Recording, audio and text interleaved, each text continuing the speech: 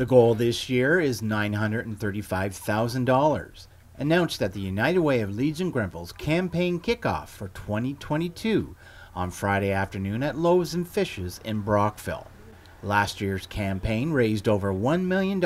It really is about a focus on the folks in need in our community and food insecurity is a big one and we know here that it's continuing to grow. Sometimes we don't always see it but we hear a lot about it so it's uh, really important and thank you for being here today to support us on that. It's going to be a tough year for our campaign again. Uh, we are finally getting out and about, which we're really excited about. So you'll see a few events from us um, over the next little while. Um, but uh, we still need help, and uh, we're hoping that you'll get the word out for us. And uh, this is again a great way for us to to kick off um, our campaign this year.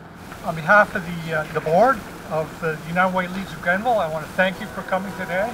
And thank you for helping us uh, kick off our campaign and, and, helping out with the 3M Harvest Lunch. Uh, it's been a very challenging two and a half years for this community and for the United Way.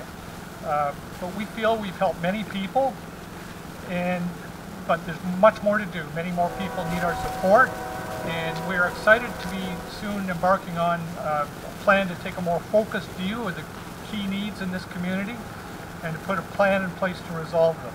Last year's campaign raised over $1 million with a goal of 885,000. As well, the second annual 3M Harvest Lunch kicked off on Friday during the event at Loaves and Fishes, which is a partnership with the local 3M and the United Way, which began in 2021. The 3M Harvest Lunch is expecting to provide 1,500 free lunches throughout Leeds and Grenville until October 7th.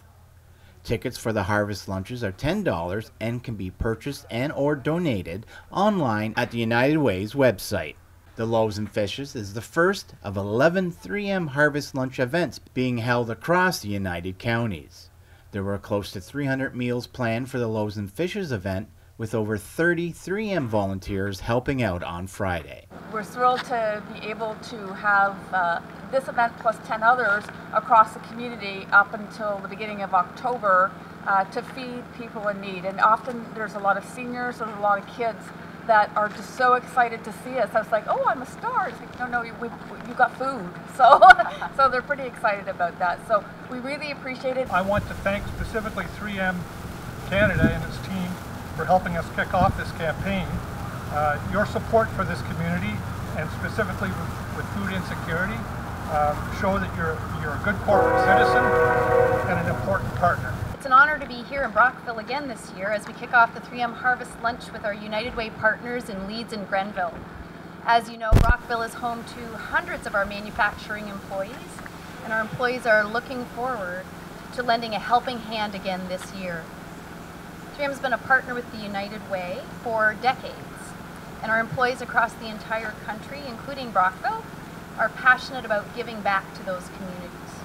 They generously donate their own time and their own money to support causes in our community, and today is another example of how we do that. For more information on the United Way of Leeds and Grenville, please visit their website at uwlg.org. For Hometown TV 12, Dale Elliott in Brockville.